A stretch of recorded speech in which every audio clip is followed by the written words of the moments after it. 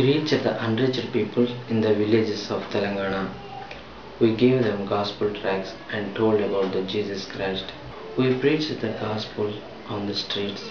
We gave them footwear for all ages who are in need. We gave clothes for the children and we gave blankets for the aged people and showed the God's love. Now they are all gathering in one of their houses and started worship there.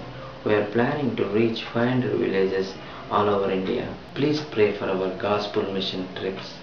Partner with us to reach more people with the gospel of Jesus Christ.